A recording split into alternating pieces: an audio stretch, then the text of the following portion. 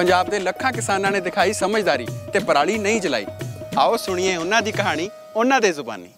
ਮੈਂ ਤਕਰੀਬਨ 3-4 ਸਾਲ ਤੋਂ ਹੈਪੀ ਸੀਡ ਨਾਲ ਕਣਕ ਦੀ ਬਿਜਾਈ ਕਰਦਾ।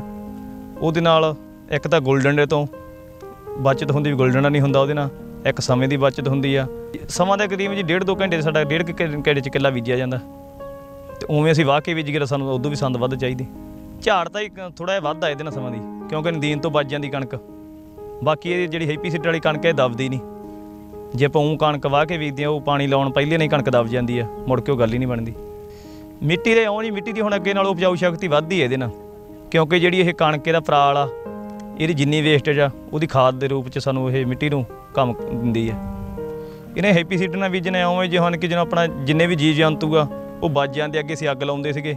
ਅੱਗ ਲਾਉਣਾ ਸਾਰੇ ਜੀਵ ਜੰਤੂ ਮਰਦੇ ਸੀਗੇ। ਸਾਨੂੰ ਉਹਦਾ ਕੋਈ ਨਾ ਕੋਈ ਨੁਕਸਾਨ ਹੀ ਹੁੰਦਾ ਰਹਿੰਦਾ ਸੀਗਾ। ਤੇ ਹੁਣ ਜਾਨੀ ਹੈਪੀ ਸੀਡਰ ਨਾਲ ਆਉਂ ਵੀ ਇਹ ਚੀਜ਼ਾਂ ਦਾ ਕੋਈ ਨੁਕਸਾਨ ਨਹੀਂ ਆ, ਸਾਨੂੰ ਫਾਇਦਾ ਹੁੰਦਾ ਉਪਜਾਊ ਸ਼ਕਤੀ ਵੱਧ ਜਾਂਦੀ ਹੈ ਬਾਕੀ ਜੀ ਮੇਰੇ ਤਾਂ ਇਹੀ ਕਿਸਾਨਾਂ ਨੂੰ ਸਲਾਹ ਵੀ ਤੁਸੀਂ ਹੈਪੀ ਸੀਡਰ ਨਾਲ ਬਿਜਾਈ ਕਰੋ ਨਾਲ ਤਾਂ ਵਾਤਾਵਰਨ ਪ੍ਰਦੂਸ਼ਣ ਹੋਣ ਤੋਂ ਬਚ ਜਾਊਗਾ।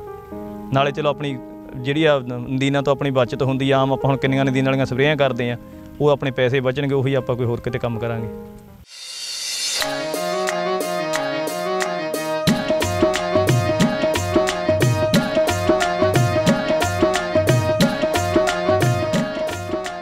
ਜਗਜੀਤ ਸਿੰਘ ਨੇ ਦਿਖਾਈ ਸਮਝਦਾਰੀ ਤੇ ਹੁਣ ਹੈ ਤੁਹਾਡੀ ਵਾਰੀ। ਤਾਂ ਪਤੇ ਦੀ ਗੱਲ ਇਹ ਹੈ, ਪਰਾਲੀ ਨਾ ਜਲਾਏ ਜੋ ਸਭ ਤੋਂ ਸਮਝਦਾਰ ਉਹ ਜੇ ਤੁਹਾਡਾ ਕੋਈ ਸਵਾਲ ਹੈ, ਤਾਂ ਕਾਲ ਕਰੋ 1800 180 1551 ਤੇ। ਪੰਜਾਬ ਸਰਕਾਰ ਵੱਲੋਂ ਜਨਹਿਤ ਵਿੱਚ ਜਾਰੀ।